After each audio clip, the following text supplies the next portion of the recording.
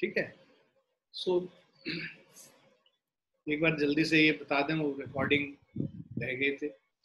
फिर से बता देते हैं। सो फ्रिक्शन का ये डेफिनेशन है कि it is defined as the opposing force that comes into play when one body actually moves और even tries to move over the surface of another origin of sliding friction ये कहता है। Old view ये कहता है कि basically uh, surfaces में there will be crest and trough अगर हम माइक्रोस्कोपिक व्यू देखते हैं and these crest and troughs basically gets interlock when this body tries to move over the other body तो ये इंटरलॉकिंग को ब्रेक करना पड़ेगा हमको फोर्स लगा के। तो जितना फोर्स हम लगाते हैं इस इंटरलॉकिंग को ब्रेक करा के इसको मूव कराने के लिए that is the amount of friction which is being applied on these two surfaces in contact. But now this uh, there are limitations of this you know, these interlockings, आपके हमारे हिसाब से ओल्ड व्यू के हिसाब से, जितना ज़्यादा large area होगा, उतना ज़्यादा इंटरलॉकिंग्स होंगे। और जितने ज़्यादा इंटरलॉकिंग्स होंगे, उतना ज़्यादा फोर्स लगाना पड़ेगा मूव कराने के लिए। तो हमारा फोर्स ऑफ़ फ्रिक्शन क्या है? एरिया डिपेंडेंट होना चाहिए था। बट ऐसा नहीं है। एक्सपेरिमेंट ये शो करता है कि force of friction does not depend on the area on in contact the surfaces which are in contact उनके एरिया पे नहीं डिपेंड करेगा हमारा ये जो फोर्स ऑफ़ फ्रिक्शन ठीक है? सो सेकेंड लिमिटेशन क्या था? When surfaces in contact are अब बेसिकली कह रहा है कि भाई रफ सरफेस के वजह से इंटरलॉकिंग है। अगर आप पूरा स्मूथ कर दोगे सरफेस तो मतलब जितना स्मूथनेस होगा, उतना कम फ्रिक्शन होना चाहिए। बट ऐसा फिर से नहीं होता है। जब स्मूथनेस जब बहुत ज़्यादा बढ़ जाता है, तब भी फ्रिक्शन इंक्रीज होता है। है ना? पहले जैसे जैसे आप स्मूथ करोगे फ्रिक्शन कम होता जाएगा और एक ऐसा लेवल आएगा जहाँ पर से अगर फर्दर तुमने स्मूथ किया तो वो फोर्स ऑफ़ फ्रिक्शन फिर से बढ़ने लगता है। सो so, ये बताता है कि interlocking is not the reason for friction okay so when surfaces in contact are extra smooth force of friction between them should almost vanish. However it is found that force of friction increases when surfaces in contact are extra smooth ठीक है? तो cohesion वगैरह आ जाता है picture में molecular level पे basically काम करने लगते हैं। दो मॉलिक्यूल्स एक दूसरे को अट्रैक्ट करने लगता है। ना मॉडर्न व्यू ऑफ़ फ्रिक्शन तो उसको काउंटर करने के लिए ये जो ट्रेडिशनल व्यू था, ये तो गलत प्रूव हो गया इन सब लिमिटेशन के वजह से। तो मॉडर्न व्यू क्या कहता है?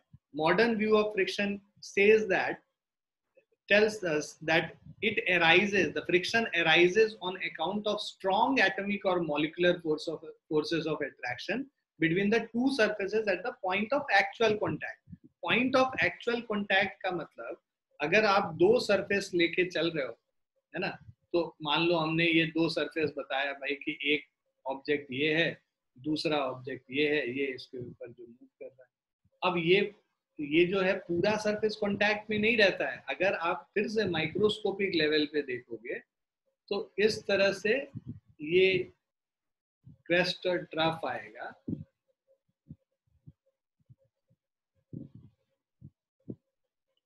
अब यहाँ पे जो सरफेसेस कांटेक्ट में है, ये एक्चुअल सरफेसेस कांटेक्ट में।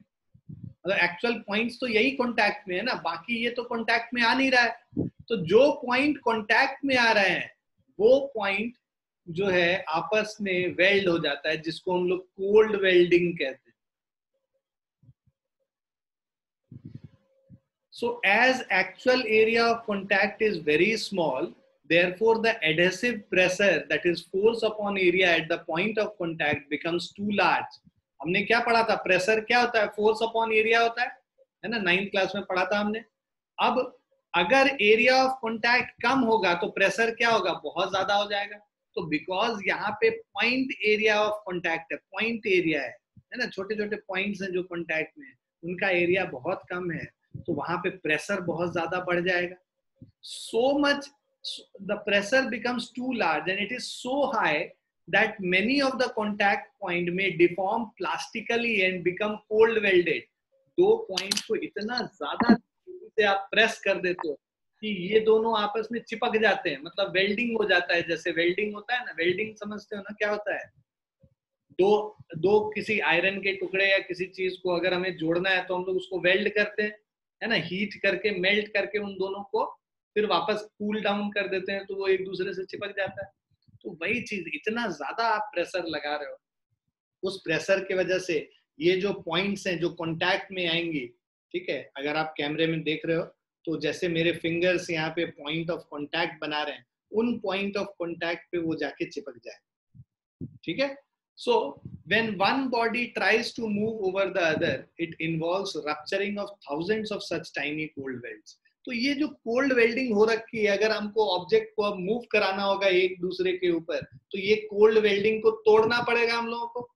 अगर वेल्डिंग तोड़ेंगे तभी तो मूव करेगा अदरवाइज़ तो दोनों ये वेल्डेड मतलब ये जो पॉइंट्स हैं इन पॉइंट्स पे वेल्डिंग किया हुआ है कोल्ड वेल्डेड तो if we have to move one object over other we have to break this cold welds so this gives rise to opposing force of friction because you have to apply some force to break those cold welds so that means this opposing force is known as force of friction note that the tiny force cold welds uh, reform continually as new chance contacts are made.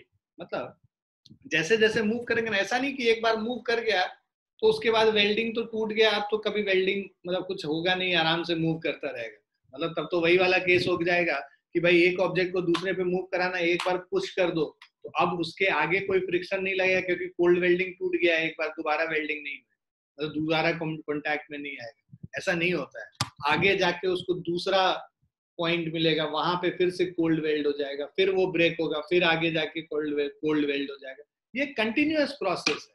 Breaking of cold weld and forming of cold weld जिसके वजह से आपको externally force और push लगाते रहना पड़ेगा उस cold weld जो फॉर्म होता जा रहा है उसको तोड़ने के लिए। So when one body tries to move over other it involve rupturing of thousands of such tiny cold welds. This gives rise to opposing force of friction.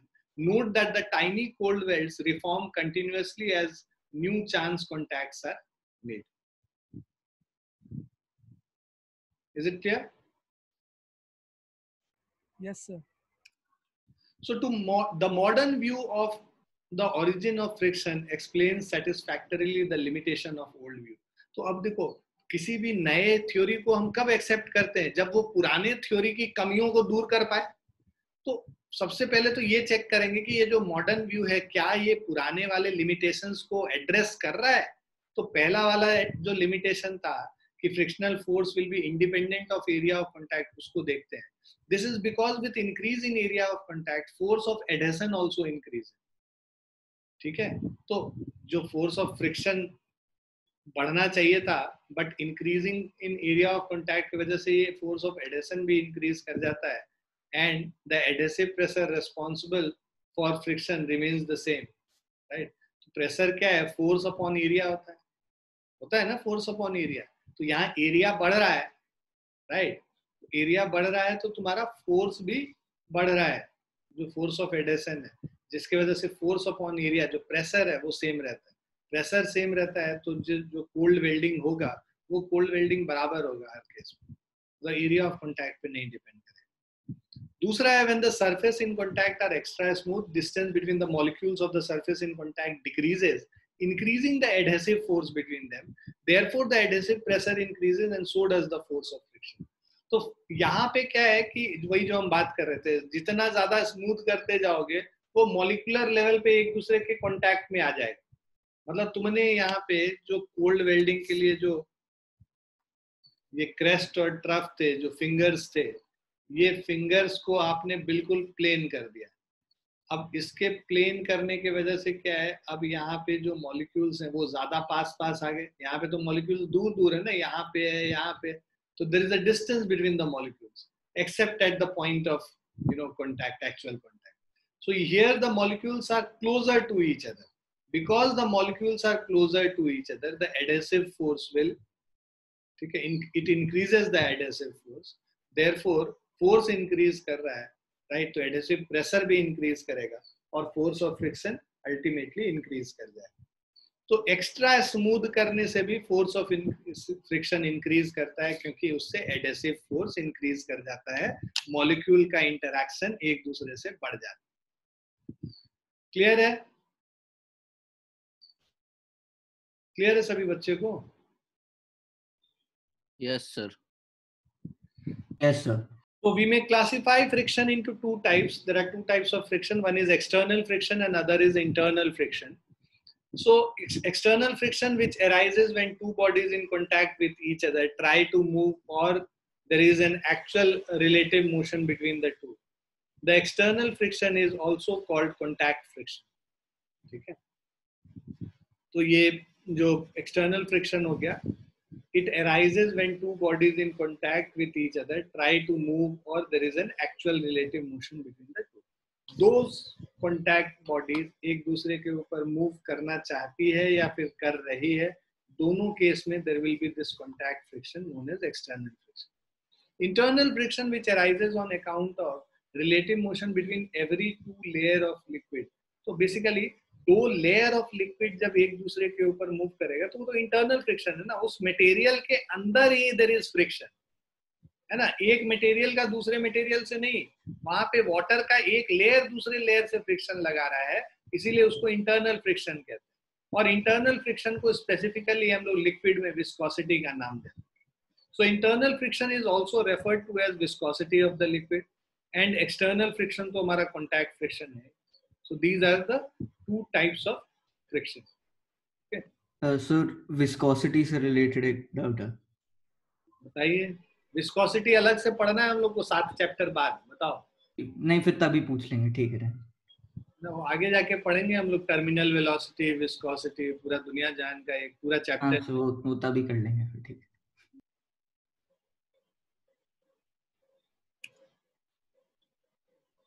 है now, external friction of, is of three पहला है static friction दूसरा है limiting friction और तीसरा है kinetic friction तो तीन टाइप का फ्रिक्शन होता है, जो हम लोग अभी इस चैप्टर में पढ़ेंगे.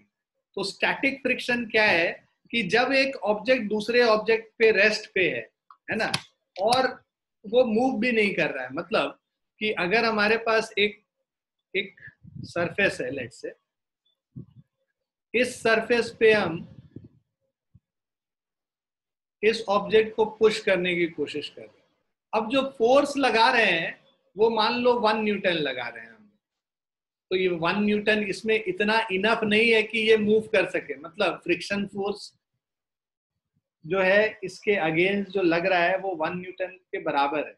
या मतलब जो उसको मूव नहीं करने दे रहा है फोर्स ऑफ़ फ्रिक्शन इसको मूव नहीं करने दे रहा तो इसके वजह से क्या हो गया कि ये जो स्टैटिक मतलब बेसिकली क्या है, अभी ऑब्जेक्ट मूव तो कर नहीं रहा है, फिर भी देर इज़ अ फ्रिक्शन विच हैजन वो जो एराइज किया है फ्रिक्शन क्यों एराइज किया है? देर इज़ मतलब this object tries to move on this right it's not actually moving but it is trying to move over that so even when the object tries to move over the other surface there is a force of friction which is known as static friction static friction का value changes from zero से up to the value of limiting friction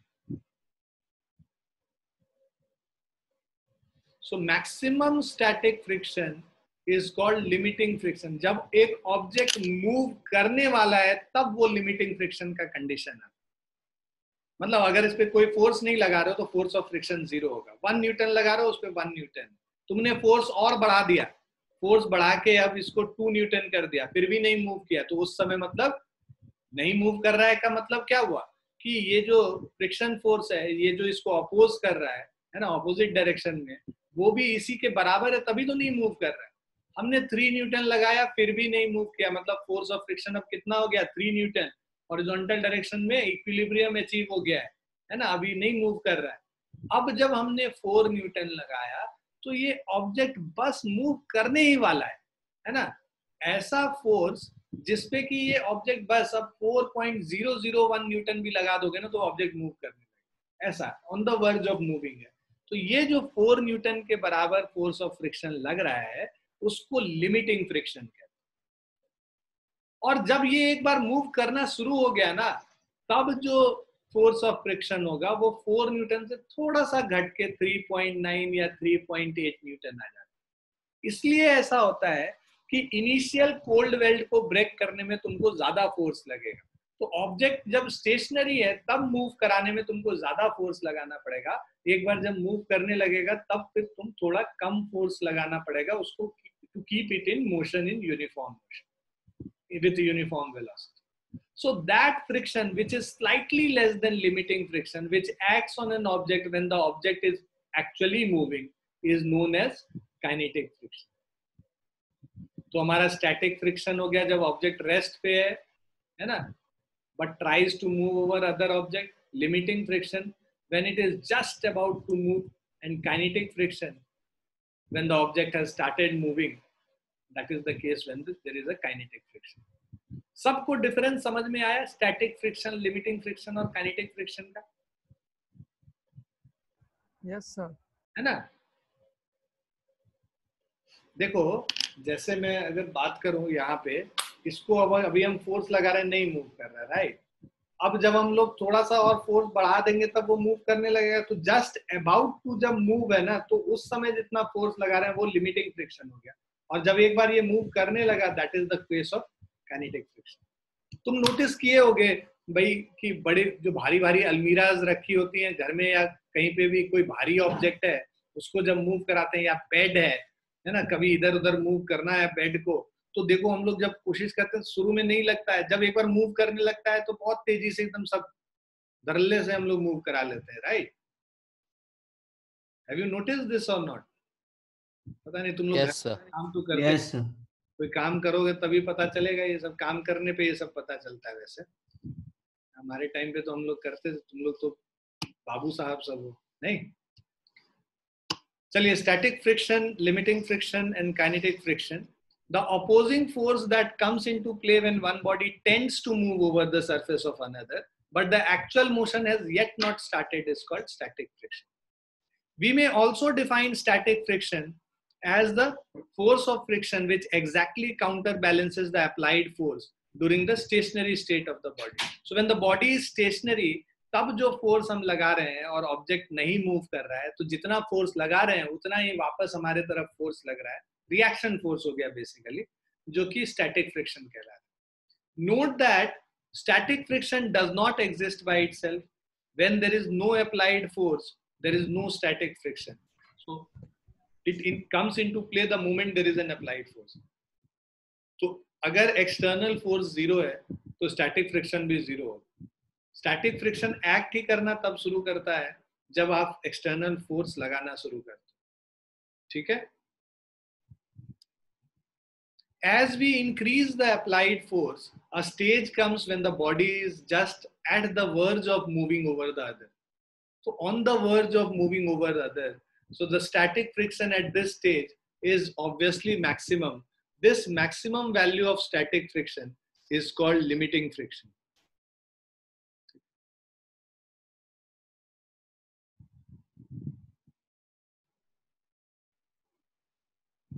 Okay. So maximum value of static friction is called limiting friction. So limiting friction is the maximum opposing force that comes into play when one body is just on the verge of moving over the surface of the other body. Now, when we increase the applied force slightly beyond the limiting force, the actual motion start. This does not mean that friction has disappeared. It only means that the applied force is now greater than the force of limiting friction. है ना जब object move करना शुरू कर लिया इसका मतलब नहीं कि फ्रिक्शन गायब हो गया बस इसका मतलब यही है कि जो हम अप्लाइड फोर्स लगा रहे हैं वो फ्रिक्शनल फोर्स से ज़्यादा लगा रहे हैं। ना सर इनर्शिया में भी फ्रिक्शन होता है? क्या चीज़? इनर्शिया में भी फ्रिक्शन होता है? इनर्शिया में फ्रिक्शन होता है का क्या मतलब हुआ? लाइक जब बॉडी इनर्शिया में मूव करती है। इनर्शिया में मूव करती है। इनर्शिया क्या होता है?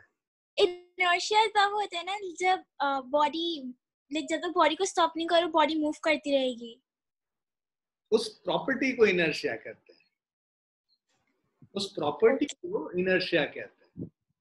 ठीक है इनर्शिया एक स्टेट नहीं है। ठीक है। Oh okay okay sir. Inertia ये कहता है कि अगर एक ऑब्जेक्ट रेस्ट पे है तो हमेशा रेस्ट पे रहेगा। एक ऑब्जेक्ट अगर मूव कर रहा है तो वो हमेशा मूव करेगा जब तक कि कोई उस पर एक्सटर्नल फोर्स हम ना लगे। So inertia is, is a property which says that मतलब inertia is a property of a body which states that if a body is at rest it will continue to be at rest or if a body is in motion it will continue to move with a state, uniform motion until and unless an external force is applied right so यहाँ पे external force क्या लगा रहे हैं friction external force होगी तो यहाँ पे इनर्शिया ऑफ़ जो मोशन है बेसिकली जो ऑब्जेक्ट मूव करता रहे हमेशा वो नहीं करता हम एक ऑब्जेक्ट को ऐसे पुश करते हैं थोड़े देर बाद जाके रुक जाता है राइट रुक जाता है थोड़े देर बाद तो रुक क्यों जा रहा है? क्योंकि यहाँ पे एक्सटर्नल फोर्स लग रहा है किस फॉर्म में? फ्रिक्शन के फॉर्म में। ठीक है?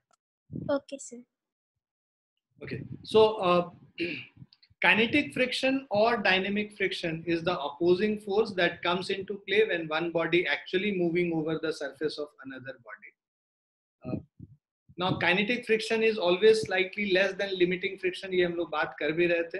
So this is because once the motion start actually inertia of rest has been overcome ठीक है? तो अगर आपने एक ऑब्जेक्ट को मूव कराना शुरू कर दिया तो जो इनर्शिया ऑफ़ रेस्ट था, जो स्टेट था रेस्ट का, वो that has been overcome now the object has started moving so when motion has actually started irregularities of one surface have little time to get locked again into the irregularities of the other surface. Interlocking के लिए कम time मिलता है जब object move कर रहा है।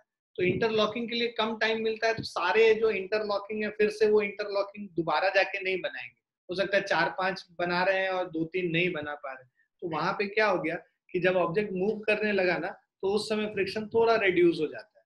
तो इसीलिए kinetic friction is always less than the limiting friction तो अगर तुम ये फोर्स ऑफ़ फ्रिक्शन और अप्लाइड फोर्स को प्लॉट करोगे ग्राफ पे तो देखो फोर्स ऑफ़ फ्रिक्शन बढ़ते जाएगा जब अप्लाइड फोर्स बढ़ाते जा रहा पहले मैंने क्या बोला कि वन न्यूटन होगा तो फोर्स ऑफ़ फ्रिक्शन भी वन न्यूटन हुआ। टू न्यूटन हुआ तो टू हुआ। थ्री हुआ तो थ्री हुआ। फोर हुआ तो फोर हुआ राइट फोर पॉइंट फाइव या फाइव हो गया, तब भी फाइव हुआ। अब उसके बाद फाइव पॉइंट ज़ीरो वन होते ही ये ऑब्जेक्ट मूव करने लगे। ठीक है? क्योंकि लिमिटिंग फ्रिक्शन ये वाला जो पॉइंट है this is the case of limiting friction उसके बाद ऑब्जेक्ट मूव करने लगेगा। और जब मूव करने लगेगा, तब उस समय फ्रिक्शन यहाँ पे बीसी के बराबर आ जाएगा। मतलब ये हो गया तुम्हारा काइनेटिक फ्रिक्शन सो ये हो गया काइनेटिक फ्रिक्शन ये हो गया लिमिटिंग फ्रिक्शन और ये वाला जो है, वो static friction so static friction is self adjusting बहुत ही इंपॉर्टेंट पॉइंट है। Static friction is self adjusting self adjusting in terms of magnitude as well as direction तो अपने आप को तुरंत एडजस्ट कर लेता है। ज़ीरो अगर तुम कोई फोर्स नहीं लगा रहे हो तो स्टैटिक फ्रिक्शन ज़ीरो है। ना? एडजस्ट कर लेगा अपना वैल्यू वन लगा रहे हो तो वन होगा वन राइट से लगा रहे हो तो लेफ़्ट साइड में होगा। वन लेफ़्ट से लगाओगे तो राइट साइड में चला जाएगा। तो अपना डायरेक्शन और मैग्नीट्यूड दोनों एडजस्ट कर सकता है। इस, इसीलिए स्टैटिक फ्रिक्शन को हम सेल्फ एडजस्टिंग फ्रिक्शन कहते सेल्फ एडजस्टिंग फोर्स क्लियर है। Yes sir now dynamic friction और kinetic friction may be of two types there are two types of kinetic friction one is sliding friction and other is rolling friction ठीक है? तो जब एक object दूसरे के ऊपर स्लाइड करता है तो उसको स्लाइडिंग मतलब घिसट घिसट के चल रहा है एक के ऊपर एक स्लाइड करके चल रहा है ऐसे तो उसको स्लाइडिंग फ्रिक्शन कहते अगर यही व्हील्स लगा दें, तब वहाँ पे जो फ्रिक्शन होगा, उसको रोलिंग फ्रिक्शन कहते हैं। और रोलिंग फ्रिक्शन हमेशा स्लाइडिंग फ्रिक्शन से कम होता है।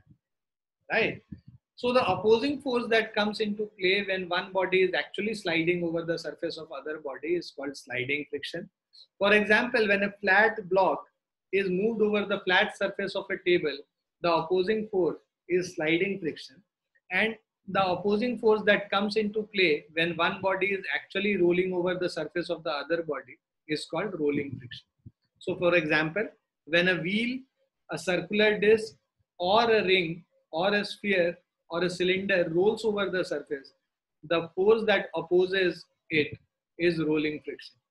ठीक है सो बेसिकली जब रोलिंग फ्रिक्शन होता है ना तो उस समय जो पॉइंट ऑफ कॉन्टैक्ट है वो बहुत कम रहता है राइट स्लाइडिंग के केस में ज़्यादा रहेगा यहाँ कम रहता है। एक तो उसके वजह से भी फ्रिक्शन जो है कम होता है और बेसिकली जो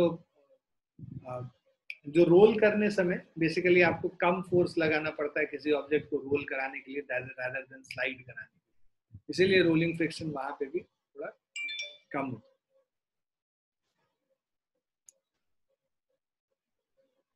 Now, laws of kinetic uh, friction. The force of kinetic friction, that is Fk, is directly proportional to normal reaction R between the two surfaces in contact. That is Fk is equal to mu k into R.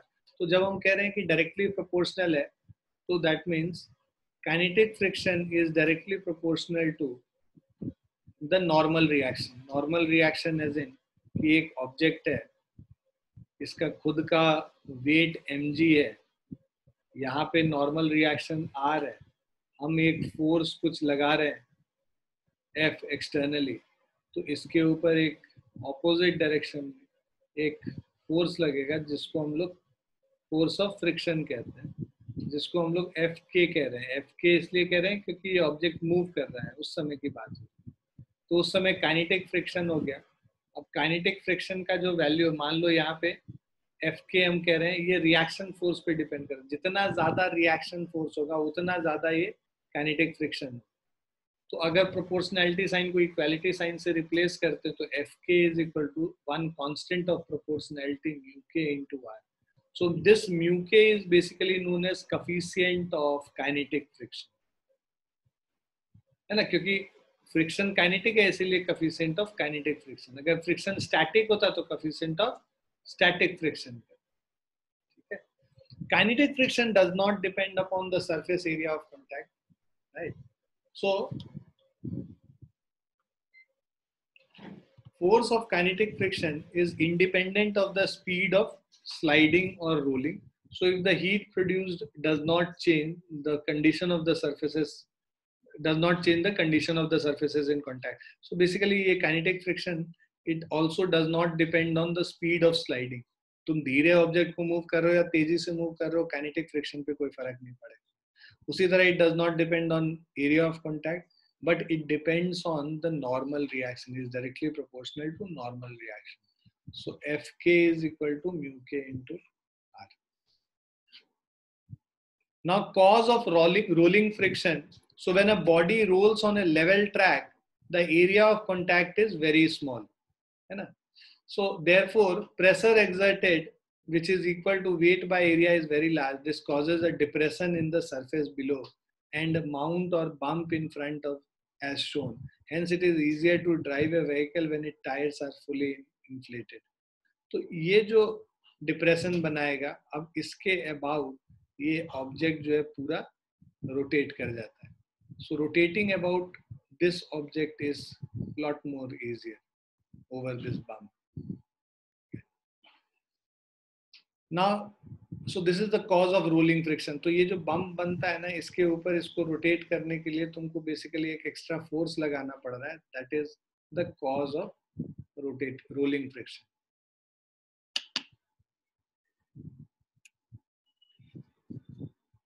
Now static friction is a self-adjusting force. ये हम लोग अभी बात भी कर रहे थे. So neither the magnitude nor the direction of the force of static friction is fixed. तो डायरेक्शन भी हम फिक्स नहीं कर सकते और मैग्नीट्यूड भी फिक्स नहीं किया है।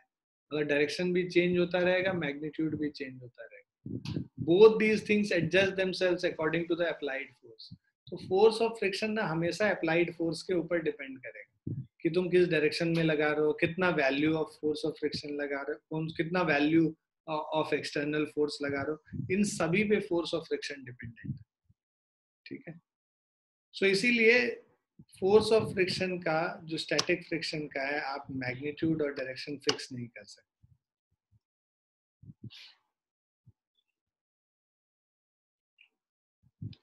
now static friction adjusts itself so that its magnitude is equal to the magnitude of the applied force and its direction is opposite to that of the applied force. Hence, static friction is a self-adjusting force. Okay. So basically, ये जो static friction है, this adjusts itself so that its magnitude is equal to the magnitude of applied force, and its direction is opposite to that of the applied force. Hence, static friction is a self-adjusting force. Now, ये हम लोग बात भी किए थे कि भाई applied force अगर मान लो वन न्यूटन है तो स्टैटिक फ्रिक्शन वन न्यूटन होगा टू न्यूटन है तो स्टैटिक फ्रिक्शन टू न्यूटन होगा। तो डिपेंड करता है कि हम बाहर से कितना फोर्स लगा रहे हैं, ये स्टैटिक फ्रिक्शन का क्या वैल्यू है। ना laws of limiting friction so following are the four laws of limiting friction right तो पहला है magnitude of force of limiting friction between the surface of two bodies in contact is directly proportional to the normal reaction R between them तो ये हम लोग अभी पीछे देखा भी था हमने तो ये जो magnitude of force of limiting friction है ना this is dependent on directly proportional to the normal reaction Now, when body is heavy, normal reaction R is mg increases, therefore F increases. Hence, P is equal to F increases. That is, more force is required to move a heavier body than a, than to move a lighter body. So, the direction of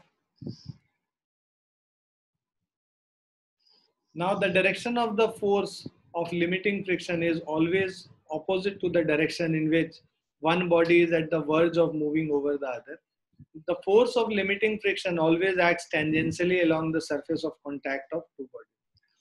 तो भाई magnitude हमने देखा जो है is directly proportional to normal reaction दूसरा direction क्या है कि direction is always opposite to the direction in which the body is on the verge of moving over the other or. तो अगर लिमिटिंग फ्रिक्शन की बात कर रहे हैं तो on the verge of moving जिधर मूव करने वाला है फोर्स की वजह से, उसके ऑपोजिट डायरेक्शन में फोर्स ऑफ़ फ्रिक्शन है। फोर्स ऑफ़ फ्रिक्शन हमेशा लिमिट हमेशा रिलेटिव मोशन को अपोज करता है। जिस भी डायरेक्शन में रिलेटिव मोशन होगा, उसको अपोज करेगा।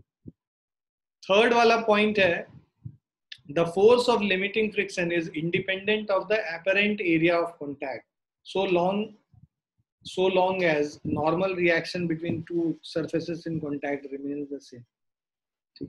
तो नॉर्मल रिएक्शन अगर सेम रहेगा तो वो दो सरफेसेस पे, है ना एरिया ऑफ़ कांटेक्ट पे नहीं depend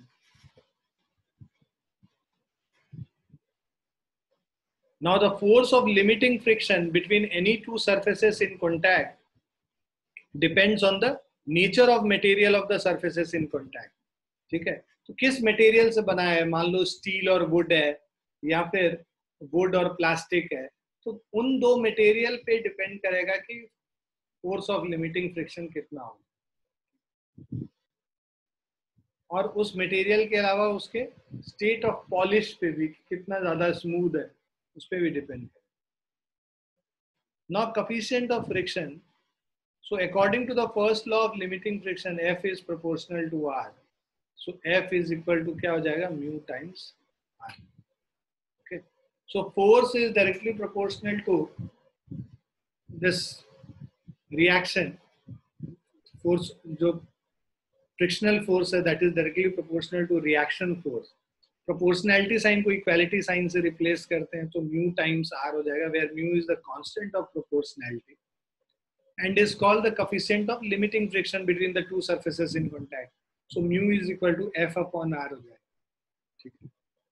Frictional force divided by divided by the normal reaction gives us the coefficient of friction mu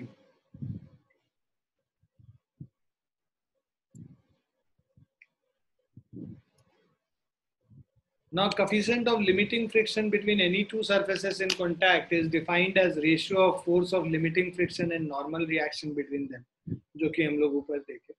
The value of mu depends on तो ये जो coefficient of friction किन चीज़ों पे depend करता है वो अगर हम समझें पहला nature of surfaces in contact है ना कि वो ड्राई है या वेट है रफ है या स्मूथ है पॉलिश्ड है या नॉन पॉलिश्ड है तो इन सारी चीज़ों पे डिपेंड करता है आपका nature of surfaces in contact इन सारी चीज़ों पे म्यू डिपेंड करता है। दूसरा material of the surfaces in contact so mu इस पे भी डिपेंड करेगा कि मटेरियल क्या है स्टील है वुड है प्लास्टिक है, क्या चीज़ है। तीसरा temperature of the surfaces in contact है ना? Nature of surface material of the surface and temperature of the surface Now, when a body is actually moving over the surface over the surface of another body, we replace F by Fk, the kinetic friction, and mu by mu k. So therefore, from second, mu k is equal to Fk upon r. Mu k is called the coefficient of dynamic friction. So as Fk is less than F, therefore mu k is more less than mu that is coefficient of kinetic or dynamic friction is always less than the coefficient of limiting friction.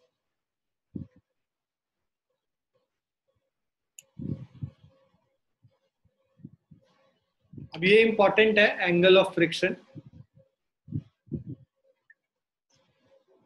just a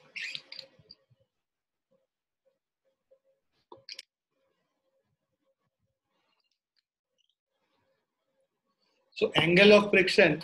So between any two surfaces in contact is defined as the angle which the resultant of force of limiting friction and normal reaction are mixed with the direction of normal reaction.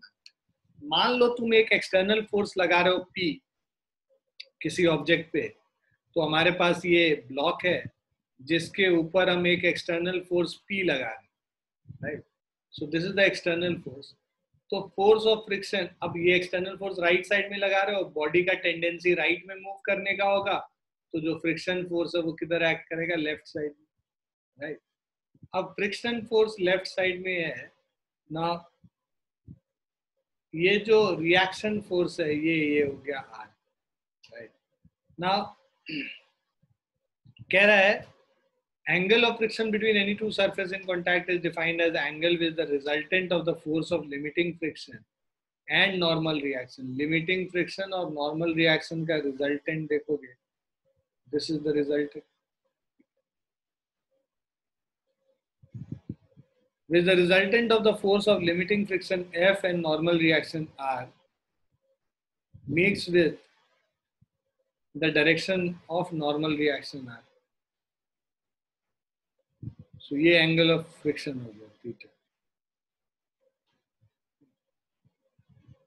Now relation between mu and theta. Before that, the value of angle of friction depends on nature of material of the surfaces in contact and the nature of surfaces.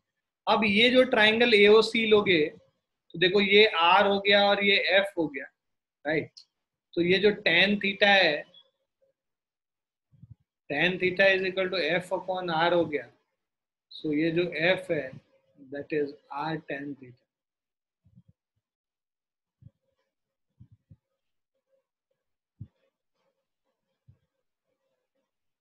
ठीक है? So relation between mu and theta अगर हम देखेंगे so F is equal to R tan theta और F हमें पता है mu into R होता है है ना?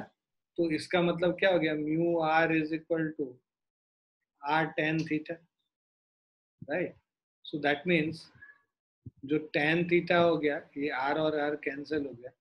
So that means tan theta is equal to क्या हो गया? म्यू के बराबर वैल्यू हो गया. क्लियर है? So F is equal to ये जो है आर टेन थीटा और F is equal to mu into R इन दोनों को इक्वेट कर दिया फ़र्स्ट और सेकेंड को. तो इससे म्यू आर जो है आर टेन थीटा के बराबर आ जाएगा। आर आर कैंसिल आउट कर देंगे। म्यू टेन थीटा के वैल्यू के बराबर आ जाएगा। So mu is equal to tan theta हो गया।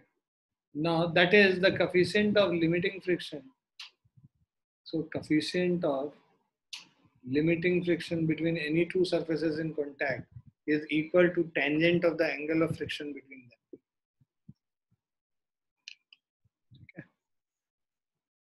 है? Yes, sir.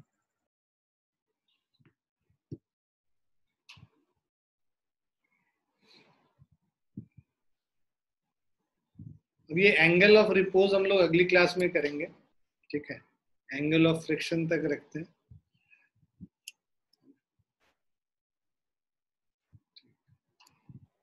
सर ये एनसीईआरटी का कौन सा चैप्टर है?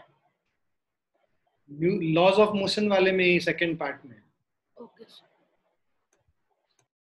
laws of motion में दो पार्ट में चैप्टर है। दो पार्ट में चैप्टर क्या मतलब फ़र्स्ट हाफ़ हो गया जो हम लोग पढ़े हैं लॉज ऑफ़ मोशन फ्रिक्शन हम लोग को हम अलग से पढ़ाते हैं तो ये फ्रिक्शन वाला पोर्शन है। तो जो हम दो चैप्टर पढ़ा रहे हैं, वो एनसीईआरटी में एक चैप्टर लॉज ऑफ़ मोशन के अंदर ही आता है। ठीक है? Okay sir